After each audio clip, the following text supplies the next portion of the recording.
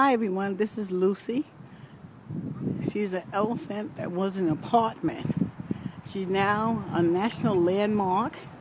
I'm here with Helena, almost here. You can go inside Lucy and visit the different rooms. And she's very large.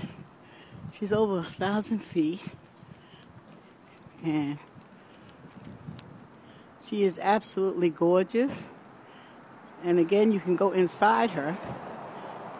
Beautiful structure.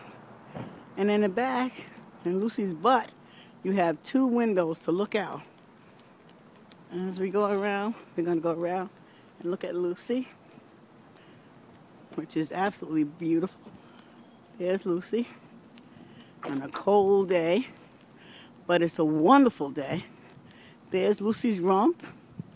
As we get closer to Lucy's rump, you can see that Lucy has windows in her rump. It's a beautiful, beautiful sculpture hotel. And you can take a tour inside of Lucy. Notice the two windows so you can look out. Literally, look out. Please come out and see Lucy in Atlantic City. And she is now a national landmark.